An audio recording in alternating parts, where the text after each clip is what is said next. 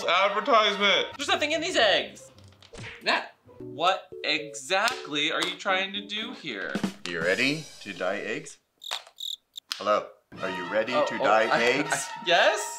Excellent. Oh, okay, it's a joke. That's why you're so adamant about it. Hello, I'm here too. I, I, I know I was. Welcome to the show. Somebody's about to crack. It's not all it's cracked up to be. The set stuff for today wasn't too expensive, was it? Would you say it was a little cheap? Speaking of cheap, you know what's not cheaply made? Our merch. Like, Although you cut the sleeves off.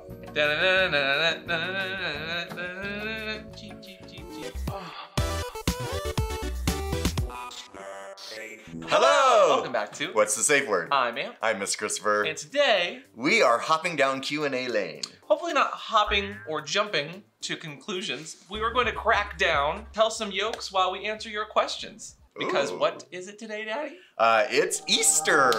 And you know what that means. Eggs, hatching, laying, surprises, and hopefully nobody dies. And something rises. Oh, well, that's three days after, technically. Like, Yeah. I never understood the whole Jesus becoming a zombie thing and coming back to life, or like the fact that rabbits don't lay eggs. Yeah, that was always a weird one as a And did you ever eat the ears off your chocolate bunny? That's the first thing I did was eat the ears off the chocolate bunny. And it felt so wrong, but so good.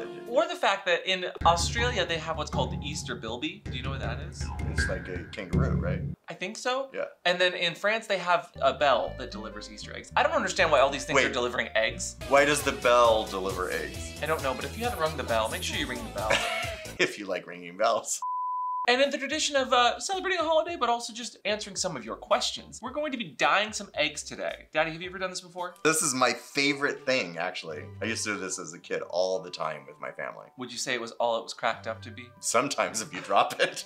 No, no, no. We're not dropping any of the questions or the eggs. But we're going to answer some of your questions today. We're going to have some fun, and hopefully, we aren't going to dye anything that we shouldn't. Now, I did it a little differently because I filled the cups higher than they're supposed to be because I hate when you put an egg in there and it only dyes half the egg. Did you ever do that? It's a very oddly specific problem, but no. that was my Also, what is, what is, what is, Come a little on! bubble wand.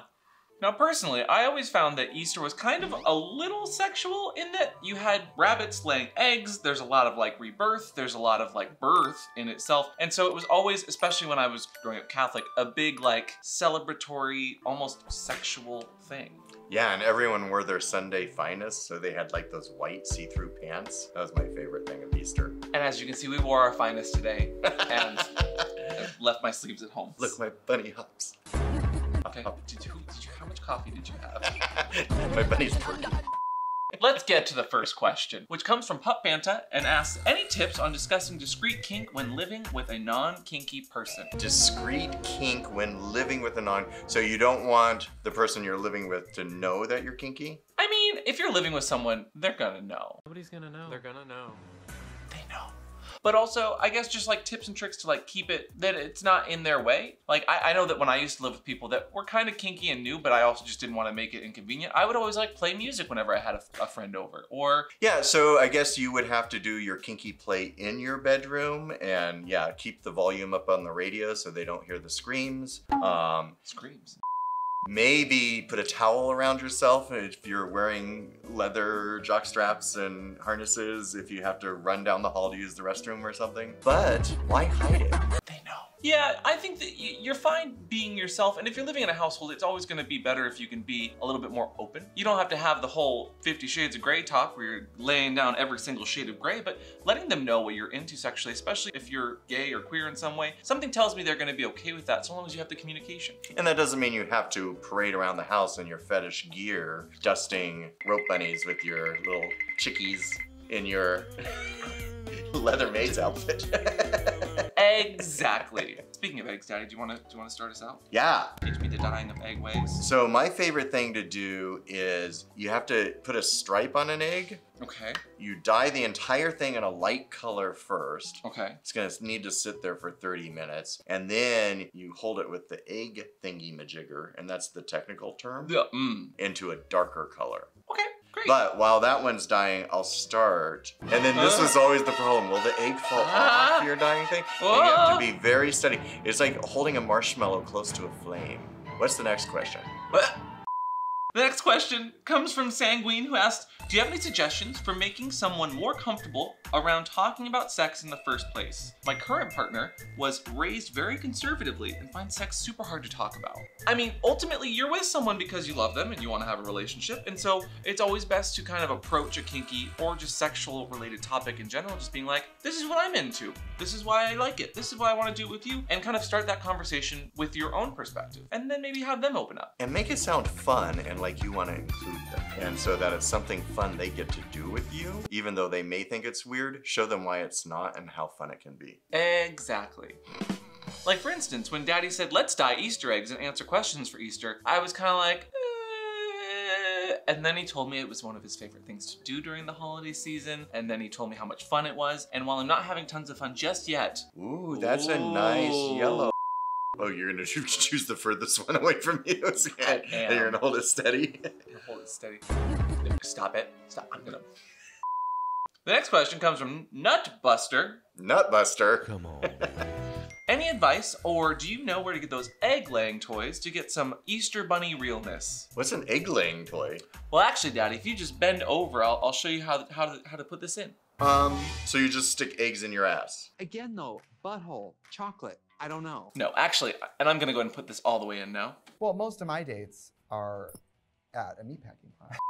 It's actually called an ovipository fetus or oviposition. It's where you put or you have eggs laid inside of someone, and then sometimes they stay inside the person, or sometimes they actually then just just get it. They, they let it out. They they slowly let it out of the anal cavity. Like ping pongs? Is that what the Easter Bunny does? No, no, no, no, no.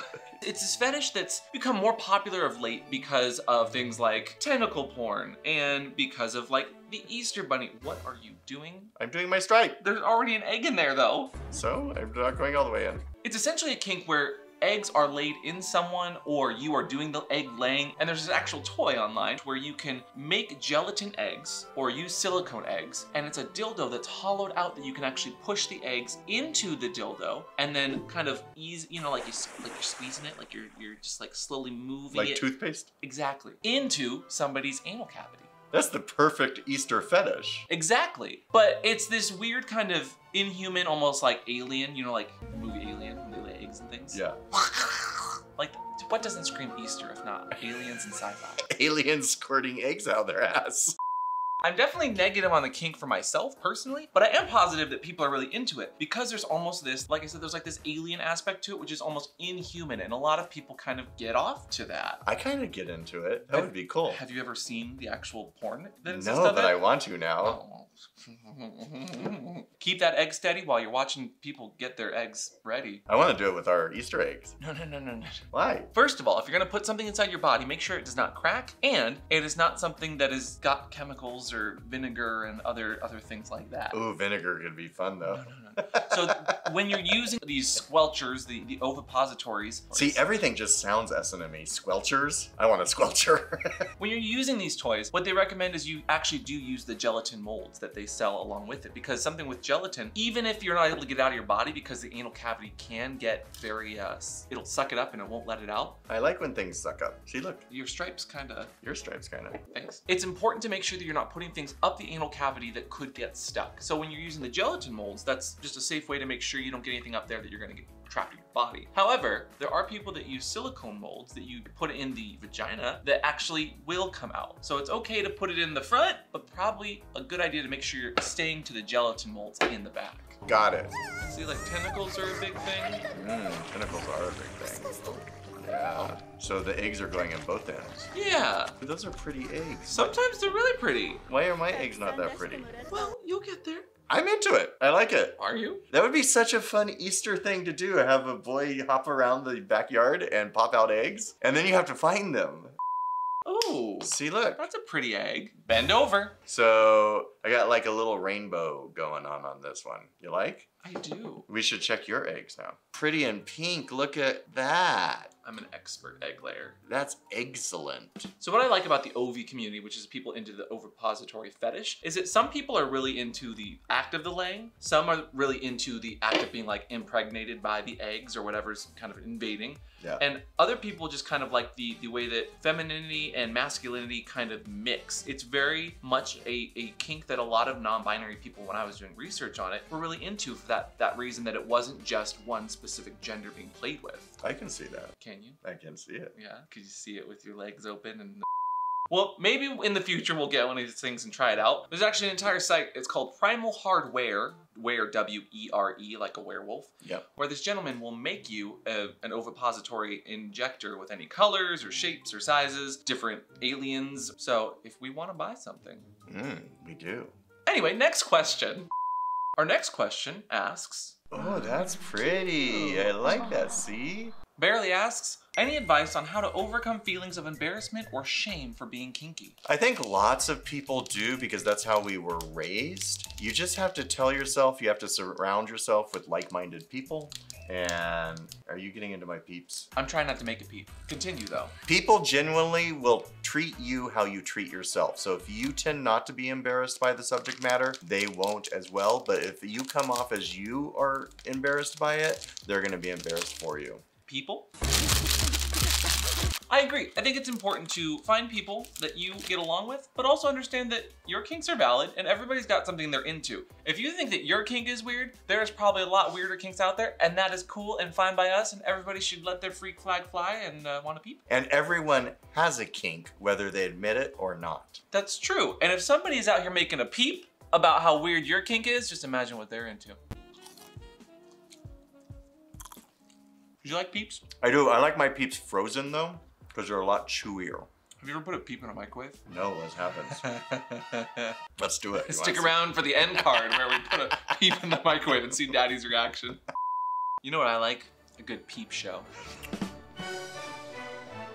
Next question though comes from Miss Jennifer who asks, are you still a Dom if you haven't Dommed someone or seen somebody in a while? So by saying in a while, that means you've done it before. So then yes, of course. Doesn't matter how often you practice, you're still a dom. Yeah, even if you're only doing it online right now, that still counts and you're still having a dynamic that's set. I think that a lot of people are gonna come out of the pandemic with a little bit of like PTSD kind of around touching and being sensual and being just like loving with other people. And that's, I, I, I wanna make sure that people are super clear that like, while that sucks, it's absolutely a normal reaction because we've been so deprived of all of these feelings and emotions for so long. And we've been conditioned to be scared of each other at this point. Ah! Ah! Some more than others. Ah! Don't you make a peep. Could you die of peeps? Oh Oh my god, did you ever play Chubby Bunny as a kid? Probably not. That wouldn't that be better with peeps? Because they're actual bunnies. no. I've got a question. Oh, I was gonna ask if that was a good idea. let's say yes. We'll just let that soak. Okay. You're soaking in it, Madge. we'll let that settle as we go to the next question. The next question from Blush asks, how do you go about being a Dom through text or chat? Which I think is especially relevant during our COVID times. Look, mine has a nipple. Yeah, so doming through text or chat is actually kind of an art form because the dom genuinely has to come up with lots of ideas. So giving the sub tasks to do, reporting back. I like to give them like number games, like they have to count the demerits of every time they fucked up and keep track of that. And we all know how good you are at counting. This is why it's the sub's responsibility to do it. Subs like to have tasks, so you give them tasks to do. And right now we're doing some egg dyeing and it's going great. So how would you do it? I would be dominant, but I would tell them what I'm going to do to them so that they kind of get it in their mind, like the kind of scene that we're gonna have. And generally from there, somebody that has a specific want or need for a scene will kind of steer what you've already started driving a little bit, like they'll kind of grab the wheel a little bit and just turn it just a, just a little bit towards that one part of the scene or towards the other. Like give them options without them knowing that you've given them options in the text. Huh, not how I do it. instead of manipulating them and telling them what they're going to do and then miscount or or say no no no No, no, no, no you no, only think it's manipulation because there's that ah! one time. Speaking of tasks, oh my god, we're almost done. I'm gonna try something a little bit brave yet controversial. So we're gonna dip it in the blue, and then we're gonna flip it upside down and let it drip down. I'm gonna flip it and reverse it. Yes, back to the middle and round again. While we answer the next question from Pervy Curvy Pig. He said five times fast. Pervy curvy pig, pervy curvy pig, pervy curvy pig, pervy curvy pig, pervy curvy pig. Pretty good, right? Eh. How many DOMs have a cathartic experience during a scene the same way that subs do? I think a lot of DOMs do because when you're in it, you're in it. You're feeding off the energy of the sub. So if they're floating and having an out of body experience, sometimes I do as well. And also, you're so focused on what you're doing, it's a very mental thing. Mm-hmm. And it, it's it's like a form of uh, just getting some some stress out, you know. Especially if you're doing anything with like flogging, maybe you're doing some impacty play sorts of stuff. That definitely relieves some stress while also getting the other juices flowing. How's your dripping thing going? You're getting dye all over yourself. What fetish is that? Rolling in dye. There, there's some mess in gunge play, I'm sure. There's do this. are you dying to do it? How long have you been whisking that joke together? Just now. I think it's also important at this point to talk about the fact that DOMs also need aftercare for their scenes. I think all the time, whenever we talk about kink and play and sex in general, there is a lot more of a focus on the bottom because they're receiving, or we have to talk about consent and how consent given and taken back. But we rarely talk about the same perspective from the other end. We always tend to assume that like the Dom's gonna be the one that's abusive, but subs can also be abusive in bad ways if you're not careful about how you talk about your relationship and communicate. And d- good DOMs that are putting in the work and making a scene flow and making sure all of your pistons are firing. Did you break another egg?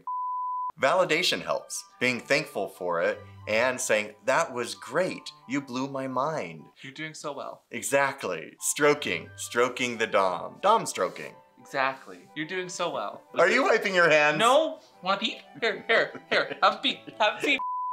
Mm, What? I'm eating out the peep.